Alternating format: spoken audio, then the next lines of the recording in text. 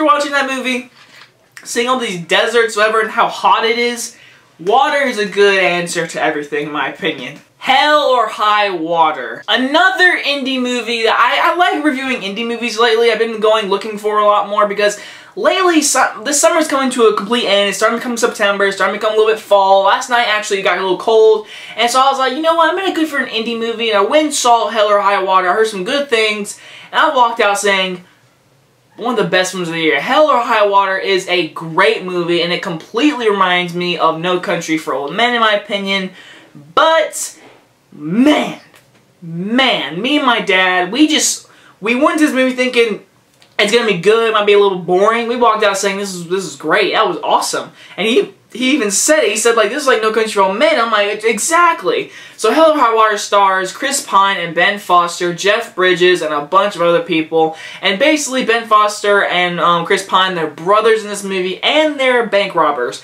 And they have to do this for the farm, whatever, and they do it. They save up money for this farm. They're trying to keep off land because they're about to get kicked out, eviction notice, whatever. The bank's telling them to leave, and they're like, you know what, we're going to get money. And you know what they do? They rob banks. And so Jeff Bridges is going to come after them, figure them out, track them down, and this leads into a big, epic finale with explosions and guns. And my gosh, it might just sound like an action movie to y'all, but really it's a drama crime movie and it's it's really good. Let's start with the positives. First off, the directing. I had never heard of this director, but I know from the writer of Sicario, which was a really good movie last year.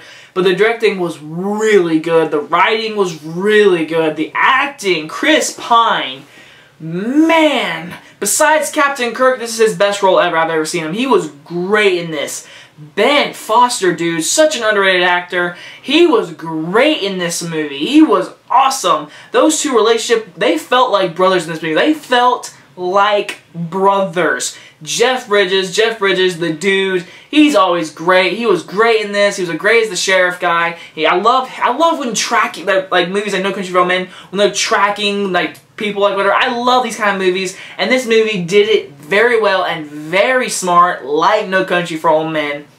I thought this writing was just really good.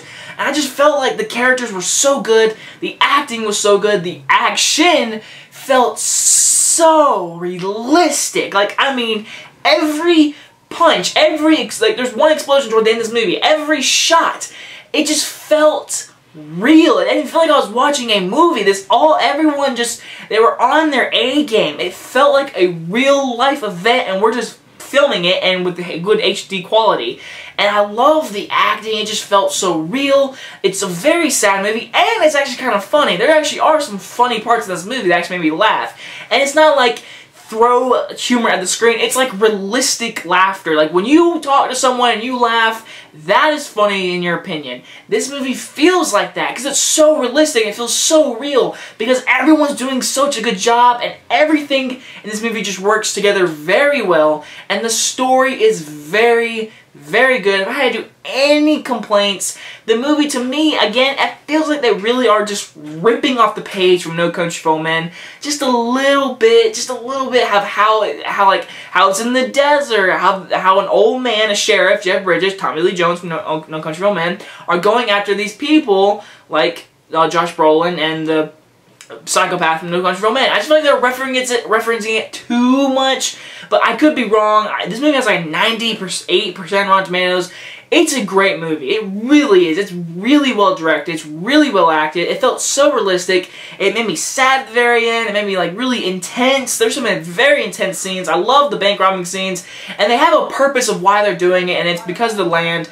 I'm going to give this movie an A+. plus. Hell or High Water is one of the best films of the year. I definitely recommend it. It's a smart movie. It's a great movie. I think it's Chris Pine and Ben Foster's best movie ever. They are great. Everyone was good in this movie. Go or see it. If it's in your local theater, please go see it. It is so good. I cannot wait to go see it. I can't wait to buy this on Blu-ray and watch it again.